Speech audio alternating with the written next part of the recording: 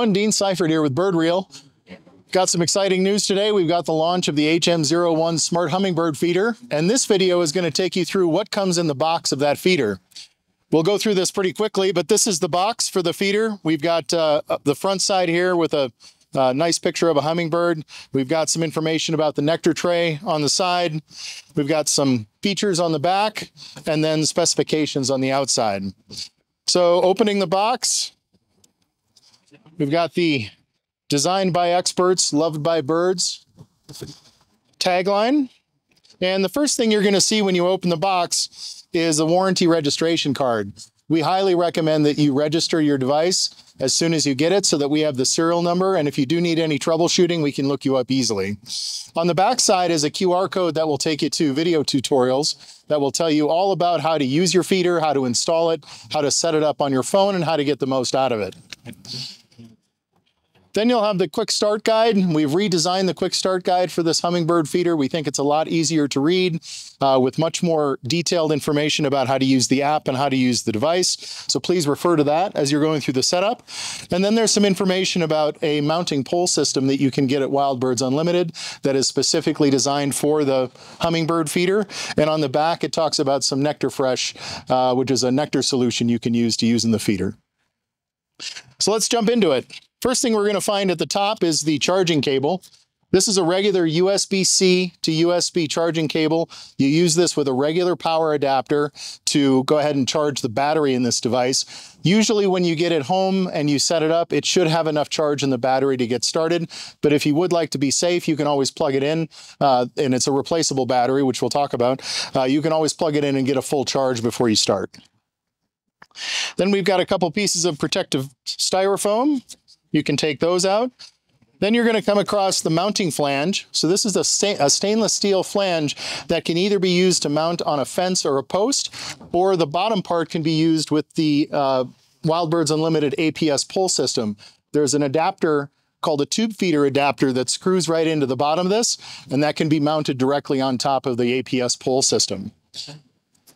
We also have a packet of screws. These are mounting screws uh, that include anchor or wood screws. And then the thumb screw is also in here, which attaches the flange to the back of the feeder. The next thing we're going to find inside the box is the roof unit. So as with all uh, BirdReel devices, we have two solar panels built into this feeder that come through a connector at the bottom.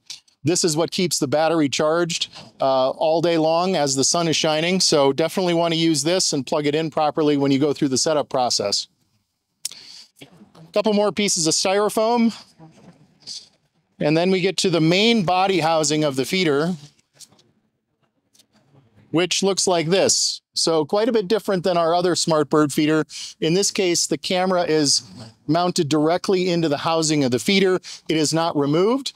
But in this case, it is charged by a battery that is, sits on the side and you can remove that battery, plug it in, get it charged, and when you're ready to put it back in, you just simply slide it in and close the door.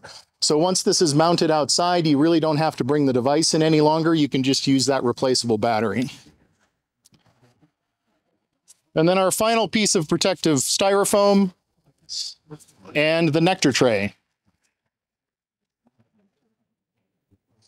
So the Nectar tray design is quite a bit different than other devices or other products that you may have seen. In this case, we actually have a top lid that is colored with red with the flower uh, holes on it. And then we have a bottom or a middle tray, which is where the nectar goes. And so this will hold eight ounces of nectar and it's easily removed so that you can take this out and clean it. And then you have the base tray. The base tray has a moat around it, so you can fill that with water to keep ants from getting into your nectar.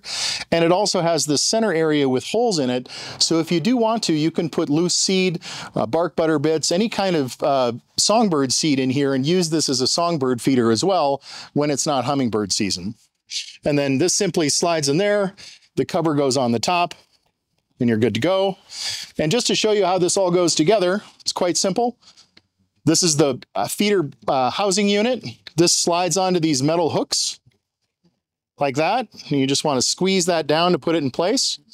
Then we're going to take the roof and we want to connect the cable to the roof housing so that our battery stays charged.